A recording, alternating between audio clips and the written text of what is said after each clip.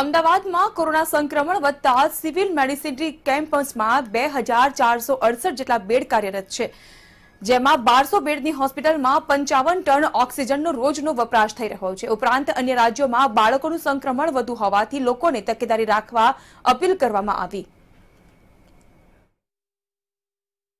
અમારા ત્યાં અત્યારે ચોવીસો અડસઠ બેડ કાર્યરત છે મેડિસિટી કેમ્પસમાં. અને ઓક્સિજન વપરાશની વાત કરીએ તો બારસો બેડ કોવિડ હોસ્પિટલમાં પંચાવન ટન જેટલું ઓક્સિજન રોજનું વપરાય છે. જે પહેલાં જ્યારે ત્રીસથી પાંત્રીસ દર્દીઓ દાખલ રહેતા હતા ત્યારે ત્રણથી ચાર દિવસે અથવા પાંચ દિવસે એક વખત ભરાવી પડતી હતી. નોન કોવિડ હોસ્પિટલની વાત કરું તો ત્યાં પણ અમારા એંસી જેટલા દર્દીઓ વેન્ટિલેટર ઉપર છે અને એક એચડીયુ છે. નોન કોવિડ અમારી જે સિવિલ હોસ્પિટલ છે ત્યાં રોજની વપરાશ આઠ, સાતથી આઠ ટન છે.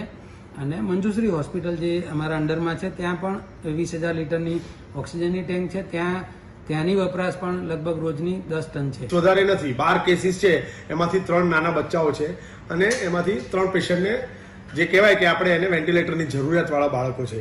અને એમાંથી બે બાળકો તો ઓપરેશન કરેલા છે. એટલે હું એવું કહીશ કે બાળકોનું સંક્રમણ અત્યારે જે પ્રમાણે થઈ રહ્યું છે, આ જે સ્પ્રેડ છે કોમ્યુનિટી સ્પ્રેડ છે, એના ભાગરૂપે જે નાના બાળકો છે, એમ કહેવાય કે બે વર્ષથી નાના, જે ફેમિલીમાં માતા પિતા સાથે રહેતા હોય અને જો ફેમિલી સંક્રમણ થાય, તો એની અંદર બાળક સંક્રમિત થઈ શકે છે. અને બાકીનું જોવા જઈએ તો જે તાજા જન્મેલા બાળકો છે